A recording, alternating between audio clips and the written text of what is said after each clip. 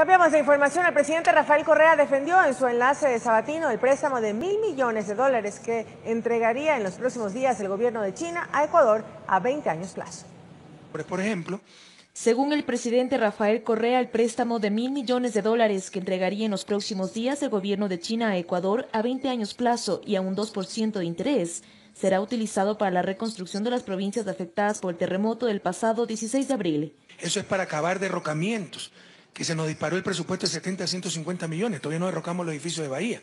Es para eh, seguir construyendo viviendas. Solo en diciembre tenemos 700 viviendas más afectadas por las réplicas en Atacames. Es para acabar la infraestructura educativa en Esmeraldas y Manabí. Necesitamos invertir en regeneración urbana, pese a que no necesariamente eso se dañó con el terremoto, pese a que es responsabilidad municipal, pero es la parte de la reactivación productiva, si no, no se reactivarán esos centros turísticos. El primer mandatario reiteró que los desembolsos serán después del 24 de mayo, es decir, para el nuevo gobierno. No saben lo que hablan. Otro sale, un supuesto analista de Cordes, Hidalgo creo que se llama, que estamos desesperados por liquidez para llegar al 24 de mayo. El préstamo se firma antes del 24 de mayo, pero los desembolsos vienen después del 24 de mayo para el próximo gobierno. Sí se dejan asignados los proyectos, porque esa es la negociación del crédito, estado proyectos. Ahí tiene que ir el hospital tal, la escuela tal, el carretero tal.